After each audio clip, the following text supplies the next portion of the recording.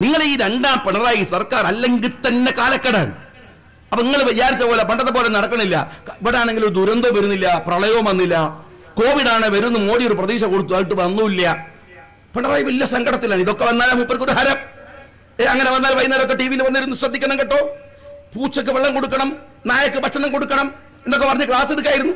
എന്നിട്ട് അതിന്റെ പറമ്പിൽ ഒരു കിറ്റും കൊടുത്ത് വോട്ടും വാങ്ങി പോകായിരുന്നു. ഇപ്പൊ കാലക്കേടിന് ഈ സാധനം നടക്കണില്ല. അതുകൊണ്ട് അദ്ദേഹം വളരെ നിരാശനാണ് ആ നിരാശന്റെ മരുന്ന് ഇന്ത്യൻ യൂണിയൻ മുസ്ലിം ലീഗിന്റെ മുന്നണി കൂട്ടലല്ല. മനസ്സിലായ നമസ്കാരം ഞാൻ ഐശ്വര്യ ഉണ്ണി.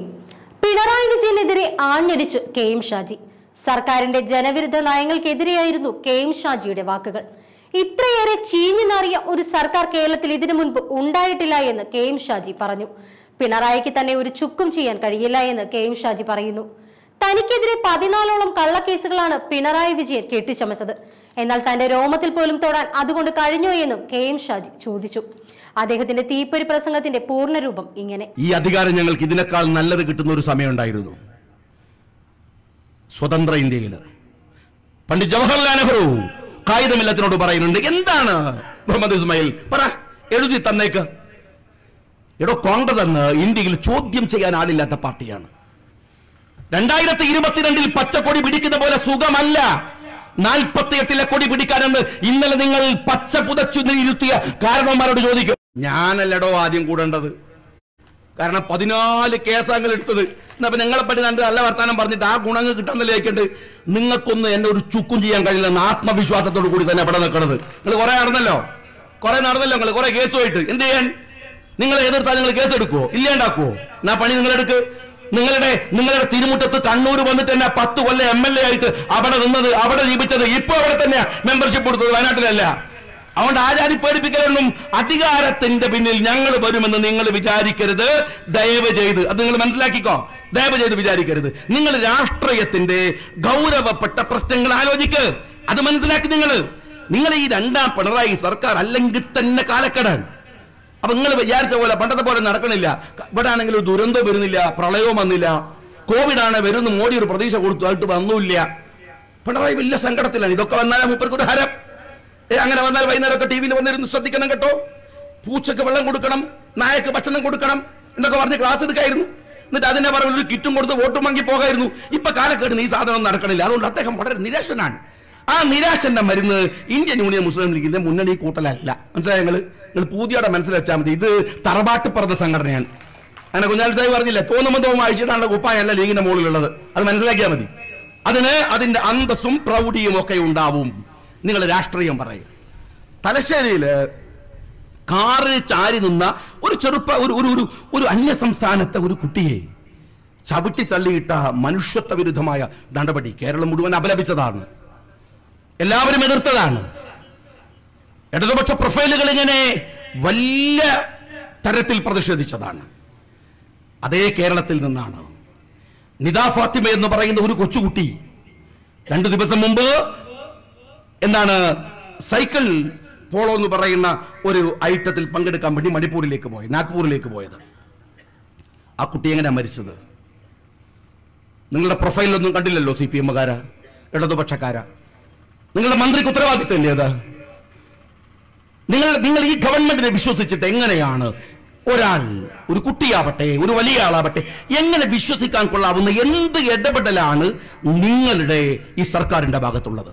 എല്ലാം എല്ലാം തകർത്ത് തരിപ്പണമാക്കിയ ഒരു സർക്കാരാണ്. ഒരു തരത്തിലും പ്രതീക്ഷ അർപ്പിക്കാനുള്ള ഒന്നുമില്ലാത്ത ഒരു സർക്കാർ. അതുകൊണ്ട് നിങ്ങൾ ആ നഷ്ടത്തെ ലീഗിനെ വെച്ച് നികത്താമെന്ന് വിചാരിക്കുന്നത് ഇപ്പോഴത്തെ സ്ഥിതി? ഇ പി ജയരാജനെതിരെ പി ജയരാജന്റെ പുതിയ പരാമർശം വന്നിരിക്കുന്നു. സത്യത്തിൽ ഇതിന്റെ പിറകിലാരാ?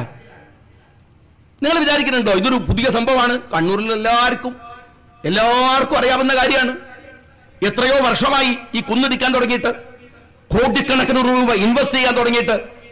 അതിന് മറുപ അതിന് എല്ലാ അനുമതിയും കൊടുത്തത് ആരാണറിയുമോ സി പി എമ്മിന്റെ ഇപ്പോഴത്തെ ജനറൽ സെക്രട്ടറി ഗോവിന്ദ മാഷയുടെ ഭാര്യയാണ്. ആ അവരുടെ മുനിസിപ്പാലിറ്റിയിലാണ്. സാജൻ ആത്മഹത്യയിലേക്ക് നയിച്ച സംഭവമല്ലേ? സാജൻ എന്ന് പറയുന്ന പ്രവാസി. ആ പ്രവാസിയുടെ കഴുത്തിൽ കുരുക്കിടാൻ മാനസികമായ തയ്യാറെടുപ്പുകൾക്ക് നേതൃത്വം കൊടുത്തത് ഈ പറയുന്ന ഗോവിന്ദ മാഷ ഭാര്യയാണ്. ഗോവിന്ദ മാഷാണ് അവരാണ് ഈ പാർട്ടിയുടെ സെക്രട്ടറി. നിങ്ങളല്ലേ അനുമതി കൊടുത്തത് ഈ റിസോർട്ട് ഉണ്ടാക്കാൻ ആയുർവേദ റിസോർട്ട് ഉണ്ടാക്കാൻ? ആ നിങ്ങൾ കുന്നിടിക്കുമ്പോ ശാസ്ത്ര സാഹിത്യ പരിഷത്ത് പറഞ്ഞില്ലേ? പറ്റില്ല എന്ന്. ജനങ്ങളുടെ കുടുംബം പറഞ്ഞില്ലേ? പറ്റില്ല എന്ന്. പിന്നെ ഇപ്പൊ ഒരു പുതിയ വാർത്ത. അതൊന്നുമല്ല. വളരെ തന്ത്രപരമായി ഈ ആരാണ് കൊടിയേരി മരിച്ചപ്പോ പാർട്ടിയുടെ സെക്രട്ടറി ആവണമെന്ന് വിചാരിച്ചു ഇ പി ജയരാജൻ. അതിനുശേഷം അദ്ദേഹം വളരെ നിരാശനാണ്. അദ്ദേഹത്തെ സെക്രട്ടറി ആക്കിയില്ല. ഗോവിന്ദ മാഷ സെക്രട്ടറി ആക്കി. സെക്രട്ടറി ആക്കിയില്ല എന്ന് മാത്രമല്ല അതിൽ പ്രതിഷേധിച്ചുകൊണ്ട് ഇ പി ജയരാജൻ ചില ഇടപെടലുകൾ നടത്തുകയും ചെയ്തു. ചില പരിപാടികളിൽ നിന്ന് വിട്ടുനിന്നു പ്രതിഷേധം അറിയിച്ചു. കൊടിയേരിയെ പിണറായി വിജയൻ അറിയാം ഈ പോക്ക് അപകടകരമാണ്. ചെറുകരിയണം ഇ പിയുടെ. അതിന് ഇതേ പിണറായി വിജയൻ മൂലക്കിരുത്തിയ പി ജയരാജനെ കൊണ്ടുവന്നിരിക്കുന്നു. എന്നിട്ട് പി ജയരാജൻ ഒരു പുതിയ കണ്ടുപിടുത്തം പോലെ പഴയ പരാതി പുതിയതാക്കി കൊണ്ടുവന്നു കൊടുത്തിരിക്കുന്നു. പിണറായി വിജയനെ പറ്റാതായാൽ ഇതാണ് എല്ലാവരുടെയും സ്ഥിതി.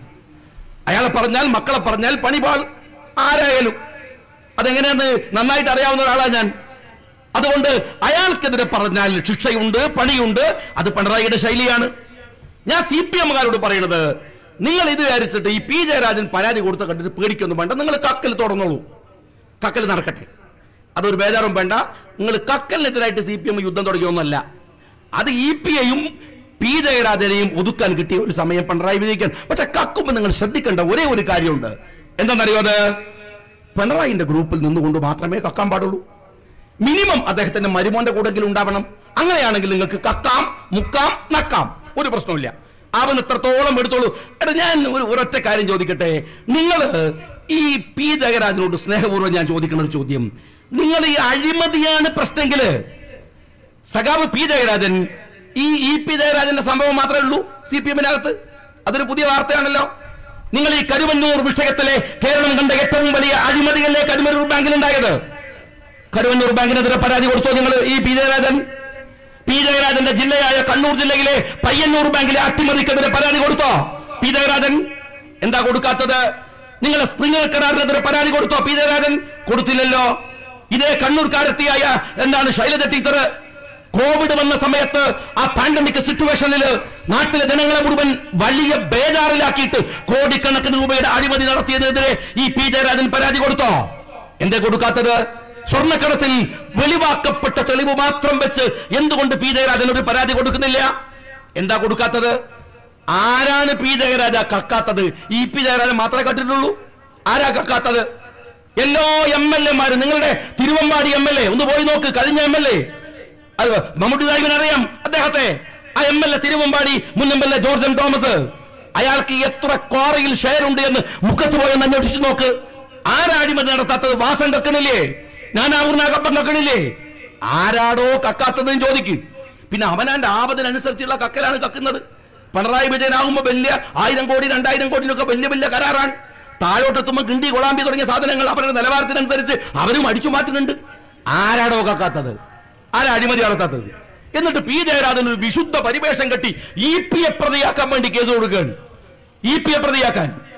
അത് ചെറിയ സൂചനയല്ല ഇന്നെന്താ സ്ഥിതി അറിയങ്ങൾ ആയിരക്കണക്കിന് പരാതി ഇ പി പി ജയരാജനെതിരെ കേന്ദ്ര കമ്മിറ്റിയിൽ വന്നുകൊണ്ടിരിക്കുന്നു എന്നാണ് ഇന്നത്തെ വാർത്ത. ഇന്നത്തെ വാർത്ത താൻ ഇനി മറ്റൊന്ന് ഞാൻ ചോദിക്കുന്നത് നിങ്ങൾ ഈ അഴിമതിയൊക്കെ എന്താ പി ജയരാജൻ പറഞ്ഞത്? അദ്ദേഹം എന്റെ കുടുംബ സ്വത്ത് കട്ടുന്നാണോ അല്ലല്ലോ. അദ്ദേഹം പറഞ്ഞത് മാർക്സിസ്റ്റ് പാർട്ടിയുടെ പാർട്ടി ഫണ്ട് അടിച്ചു മാറ്റിയതാണോ? അല്ലല്ലോ. അയാൾ പറഞ്ഞ എന്താണ്? മന്ത്രിയായിരിക്കെ അഴിമതി നടത്തി. അതല്ലേ ആരോപണം? മന്ത്രിയായിരിക്കെ. എന്ന് വെച്ചാൽ നിങ്ങളെ എന്റെ സ്വത്ത് കട്ടുന്നാണ്. പൊതുസ്വത്ത് കട്ടുന്നാണ്. ആ പൊതുസ്വത്ത് കട്ടാൽ അന്വേഷിക്കേണ്ടത് മാർക്സിസ്റ്റ് പാർട്ടിയുടെ കമ്മിറ്റിയാ. ആണോ? നിങ്ങൾ ആര് ഇതെന്താ ദക്ഷിണ കൊറിയയാണോ? ഇതെന്താ ചൈനയാണോ? പാർട്ടി അന്വേഷിക്കാൻ? പാർട്ടി അന്വേഷിക്കാൻ? എടോ ഈ രാജ്യത്ത് വിജിലൻസ് ഇല്ലേ? ഞങ്ങളുടെ ബഹുമാനായ മുസ്ലിം ലീഗിന്റെ നേതാവ് സംസ്ഥാന ഭാരവാഹി അബ്ദുറഹ്മാൻ കല്ലായി അദ്ദേഹത്തിന്റെ മഹലത്തിനകത്തൊരു തർക്കം ഉണ്ടായി മഹല്ലത്ത് തർക്കം ഉണ്ടാവൂലേ? ആ തർക്കത്തിന്റെ പേരിൽ വിവാദം ഉണ്ടായി. ആ കേസ് അന്വേഷിച്ചത് വിജിലൻസ് അല്ലേ? വിജിലൻസ് അല്ലേ? ഇ പി ജയരാജൻ നൂറ് കോടിയുടെ അഴിമതി നടത്തിയാൽ അന്വേഷിക്കേണ്ടത് പാർട്ടി ഭാരവാഹിത്വമാണോ? പാർട്ടി കമ്മിറ്റിയാണോ? അല്ലല്ലോ. നിങ്ങൾ അന്വേഷിക്കേണ്ടത് രാജ്യത്തെ വിജിലൻസ് അല്ലേ? ഇ ഡി ഒന്നും വരാൻ പിന്നെ അത്ര എന്നെ പോലത്തെ ആൾക്കാർക്കെതിരല്ലേ വരുള്ളൂ. അതൊന്നും വരണ്ടെന്ന്. ഒരു വിജിലൻസ് ഇടോ ചെറിയ ചെറിയ കേസ് വലുതൊന്നും താങ്ങാൻ നിങ്ങളെ കൊണ്ട് പറ്റൂല. അതിന് നമ്മളെന്നെ വേണം. നിങ്ങൾ ചെറുതൊരു വിജിലൻസ് ഒരു ക്രൈം ബ്രാഞ്ച് ഒരു പോലീസ് സ്റ്റേഷനിൽ പരാതി കൊടുക്കുമോ നിങ്ങൾ? പി ജയരാജൻ പരാതി കൊടുത്തത് അതിന്റെ കമ്മിറ്റിക്കാണ്. അല്ലേ? അപ്പൊ ഈ രാജ്യത്തിലെ പണം കട്ടെടുത്തിട്ട് അതിന്റെ പരാതി അന്വേഷിക്കാൻ സി പി എം മതിയോ? സി പി എം പോരാ. ഇനി മറ്റൊന്ന് ഞാൻ ചോദിക്കട്ടെ. പത്രങ്ങളിൽ വാർത്ത വന്നപ്പോ പുതിയ തട്ടിപ്പ്. ഇത് സി പി എമ്മിന്റെ രഹസ്യം ചോർത്തിയതാണ്. ആര് ചോർത്തിയടോ? നിന്റെ കമ്മിറ്റിയിൽ നിന്ന് ഈ വിവരം പുറത്തറിയണം. നിങ്ങൾക്ക് താല്പര്യമുണ്ട്? നിങ്ങൾ ചോർത്തി. ഏതാ വേറെ ആര് ചോർത്താൻ? നിങ്ങൾ തന്നെ ഈ വിവരം പുറത്തേക്ക് ചോർത്തി കൊടുത്തതാണ്. അല്ല നിങ്ങൾ പറയുമോ? നിങ്ങൾ ചോർത്തി കൊടുത്തതാണ്.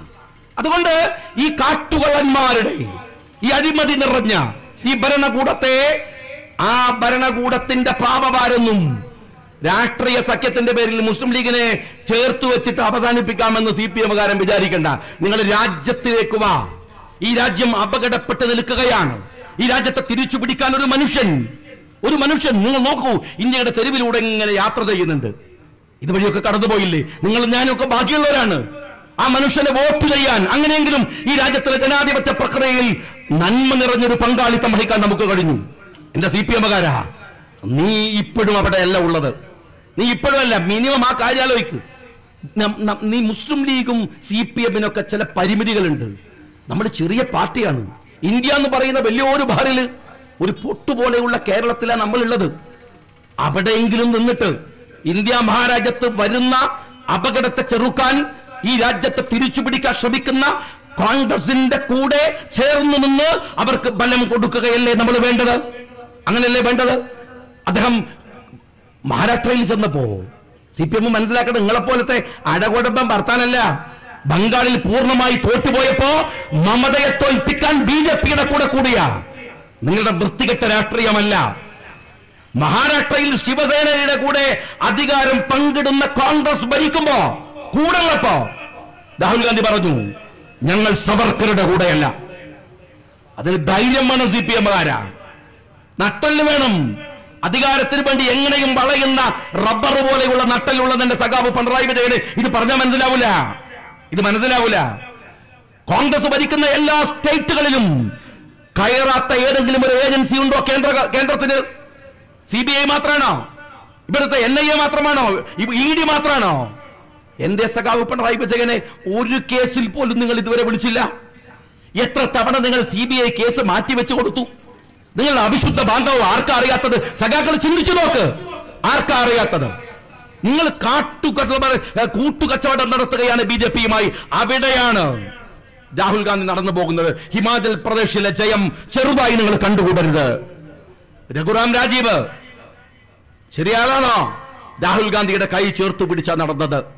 ഡൽഹിയിൽ ഇരിക്കുന്ന രാഹുൽ ഗാന്ധിയെ കാണാൻ കമൽഹാസൻ ദക്ഷിണേന്ത്യയിലെ ഏറ്റവും പ്രഗത്ഭനായ താരമൂല്യമുള്ള ഒരാൾ കമൽഹാസൻ പോയി കൈ ചേർത്ത് പിടിക്കുകയാണ്. ചെറുതായിട്ട് നിങ്ങൾ ഇതിനെ കാണരുത്. ഇവർ അബദ്ധമാണ്. ഇവിടെ ഒരു പൊതുധാരണയുണ്ട് കേരള രാഷ്ട്രീയത്തിൽ. എന്താണെന്നറിയാം ഞങ്ങൾ ബി ജെ പിയെ നേരിടാൻ സി പി എമ്മിന്റെ കൂടെ സഹായം വേണ്ടേ? അസംബന്ധമാണത്. ഈ സി പി എം നശിച്ച് നാറാണക്കല്ലെടുക്കാതെ ഒരു രാഷ്ട്രീയ സഖ്യം ലോ- ഇതൊക്കെ ഇന്ത്യയിൽ ഉണ്ടാവില്ല നിങ്ങൾ ആലോചിച്ച് നോക്ക്. ആ യു പി എ നല്ലോണം ഭരിച്ചോണ്ടിരിക്കുമ്പോ എന്താ അവർ പറഞ്ഞത്? അമേരിക്കൻ ഗൂഢാലോചനയാണ്. ആണവ കരാർ. എന്നിട്ട് അഹമ്മദ് സാഹിബിനെ അവിടെ ഇറക്കാനുള്ള പണിയിലായിരുന്നു അന്ന്. എടോ എവിടെയോ ആ കരാറ്? ഒന്ന് പറഞ്ഞോണ്ട് നീ. രാജ്യത്ത് നീ പറഞ്ഞ വിഡിത്തം പോക്കരുത്തരത്തൊക്കെ എത്ര എന്തെല്ലാം ഉണ്ട് ഇവിടെ? ഏതെങ്കിലും ഒന്ന് ഒരു ഉളുപ്പൂല്ലല്ലോ ചങ്ങായിമാരെ നിങ്ങൾക്ക് കമ്പ്യൂട്ടറിനെതിരെ സമരം ചെയ്ത ആൾക്കാരങ്ങൾ നിങ്ങൾ പറഞ്ഞ ഒരു കാര്യം ലോകത്ത് നടന്നിട്ടില്ലെന്ന് മിനിമം അതെങ്കിലും മനസ്സിലാക്കട്ടെ. എന്നിട്ട് ഉളുപ്പില്ലാതെ തന്നെ പിടിച്ചപ്പോ ശിവൻകുട്ടിനെ പിടിച്ചിട്ട് വിദ്യാഭ്യാസ മന്ത്രിയാക്കാൻ ധൈര്യമുള്ള ആൾക്കാരങ്ങൾ നിങ്ങൾ ആലോചിച്ച് നോക്ക്. ഞാൻ പലപ്പോഴും പറയാറുണ്ട് ഈ ആ ശിവൻകുട്ടി എന്ന് പറയുന്ന എനിക്ക് എന്റെ വളരെ അടുത്ത സുഹൃത്താണ് മമ്മൂട്ടി സാഹിബിന്റെ ഒക്കെ സുഹൃത്താണ്. പക്ഷെ ആലോചിച്ച് നോക്ക് പോയത്തക്കാരനല്ലെന്ന് സുഹൃത്തായിട്ട് കാര്യമുണ്ടോ? അയാൾക്ക് വിദ്യാഭ്യാസ മന്ത്രി നാട്ടിന്റെ വിദ്യാഭ്യാസ മന്ത്രിയല്ലേ? പണ്ട് ഈ ഒരു ടോൾസ്റ്റോയുടെ ഒരു ഒരു കഥയിൽ പറയുന്നുണ്ട് ഒരാൾ ഒരു ചെരുപ്പ് കുത്തി. ചെരുപ്പ് കുത്തി മനുഷ്യന്റെ മുഖത്ത് നോക്കി ആളറിയില്ല ചെരുപ്പമ്മൽ നോക്കിയിട്ട് ഇങ്ങനെ പറയും ആ ആദ്രമാനെ സുലൈമാൻ എന്നൊക്കെ ഇങ്ങനെ വിളിക്കും. കാരണം അയാൾക്ക് ചെരുപ്പ് ഉണ്ടല്ലോ പണി ചെരുപ്പൂത്താണ് അതുകൊണ്ട് മനുഷ്യന്റെ മുഖത്ത് നോക്കൂല. അതുമാതിരിയാണ് കേരളത്തിലെ കുട്ടികൾ ഒരു ട്രൗസർ കണ്ട അപ്പം പറയും ഇത് നമ്മളെ വിദ്യാഭ്യാസത്തിന്റെ ട്രൗസറാണ്. കാരണം കുട്ടികൾ കണ്ടത് ട്രൗസറാണ്. കാരണം അവർക്ക് നോക്കിയാൽ കഴിയില്ല. ഡെസ്കിന്റെ മുകളിൽ കൂടെ ട്രൗസർ ഇട്ട് നടക്കണേ. കമ്പ്യൂട്ടർ പൊളിക്കാൻ പോയതാണ്. കേരളത്തിന്റെ വിദ്യാഭ്യാസ മന്ത്രി. ഞാൻ ഈ ചില ആളുകൾ ഒരു നമ്മുടെ നാട്ടിൽ ഒരു ഇടതുപക്ഷ ബുദ്ധിജീവി എന്നൊക്കെ പറയുന്ന ചില ആൾക്കാരുണ്ട്. അവർ വെറുതെ പറയും ഇ എം എസ് ഭയങ്കര സംഭവമാണ്. എന്ത് സംഭവമാണോ ഞാൻ ചോദിക്കുന്നത് കേരളത്തിലെ ഏത് നന്മയാണ് ഇ എം എസ് കൊണ്ടുവന്ന് പറയുന്നത്? കൂട്ടുകക്ഷിയായ ഇന്ത്യൻ യൂണിയൻ മുസ്ലിം ലീഗും കൂടെ കൂടെ ഉള്ളപ്പോ കൊണ്ടുവന്ന കുറച്ച് നല്ല കാര്യമല്ലാതെ എന്താണ് എന്ത് നല്ല കാര്യങ്ങൾ കൊണ്ടുവന്നത്? രാജ്യത്തെ എല്ലാ പുരോഗതിയും നിങ്ങളൊന്ന് നടന്നു നോക്ക്. ഇവിടുത്തെ മെട്രോ ഇവിടുത്തെ സൗകര്യങ്ങൾ ഇവിടുത്തെ വിമാനത്താവളം എല്ലാം. ഇതൊന്നും ഇവർ കൊണ്ടുവന്നല്ല ഒരു സാധനവും കൊണ്ടുവന്നിട്ടില്ല എന്നാൽ ഇടതുപക്ഷ ബുദ്ധിജീവികൾ എന്ന് പറയുന്നത് സഞ്ജയ് നോക്കി ഇറങ്ങുന്ന കുറച്ച് ആൾക്കാർ അവർ പറയും ഇ എം എസ് ഭയങ്കര സംഭവം. ഒരു സംഭവമല്ല. എന്നിട്ട് പറയാൻ എട്ട് എന്താണ് ബി ജെ പിയെ തോൽപ്പിക്കാൻ സി പി എം കൂടെ വേണം? ഈ ഹമുക്കുകൾ ഇല്ലാണ്ടായാൽ മാത്രമേ നടക്കുള്ളൂ. നിങ്ങൾ ആലോചിച്ചാൽ മതി. കാരണം എന്ന് കേന്ദ്രത്തിൽ ഇവർ കൂടെ നിന്നിട്ടുണ്ടോ? അന്നൊക്കെ പാര വെച്ചിട്ടുണ്ട്. ഇത്ര വിശ്വാസയോഗ്യരല്ലാത്ത ഒരു പാർട്ടി ഇന്ത്യയിൽ വേറില്ല ഇത്ര വിശ്വാസയോഗ്യരല്ലാത്ത കാര്യം എന്താ നിങ്ങൾ എന്ത് പൊട്ടത്തരം പറഞ്ഞാലും അനുസരിക്കുന്ന മൊയന്ത് അണികളുള്ള ഇതുപോലെ ഒരു പാർട്ടി ദുനിയാവിൽ വേറില്ല ഇന്ത്യ രാജ്യത്ത് വേറെ ഇല്ല. അതുകൊണ്ട് ബി ജെ പിയെ തകർക്കാൻ എന്നൊന്നും പറഞ്ഞിട്ട് ഞങ്ങളെ ഞങ്ങളെ ഭാഗത്ത് കൂടി വെറുതെ നിങ്ങൾ നിങ്ങൾക്ക് നിങ്ങൾ ആവത് എന്താന്ന് ഞങ്ങൾക്കറിയാം. കാരണം എന്താണ്? ഞങ്ങൾ ആവത് എന്താന്ന് ഞങ്ങൾക്കറിയാം. നിങ്ങളും നമ്മളിപ്പോൾ ഒരുപോലല്ലേ? മനസ്സിലായില്ലേ നിങ്ങൾ അത്രയല്ലേ നിങ്ങൾ ആളുള്ളൂ. അവിടെ നമുക്ക് പറ്റിയ പണി. ഈ രാജ്യത്ത് നല്ല മൂവ്മെന്റുകൾ വരുമ്പോൾ ആ മൂവ്മെന്റിന്റെ കൂടെ ചേർന്ന് രാജ്യത്തെ നന്നാക്കലാണ്. ആ നന്നാക്കാനുള്ള പ്രക്രിയയിൽ കൂടെ ചേർന്ന് നിൽക്കുകയാണ്. ജനാധിപത്യത്തെ ശക്തിപ്പെടുത്തലാണ്. അവർക്ക് കരുത്തു പകർന്നു കൊടുക്കലാണ്. അതിനുള്ള ശ്രമമാണ് നമ്മൾ നടത്തേണ്ടത്.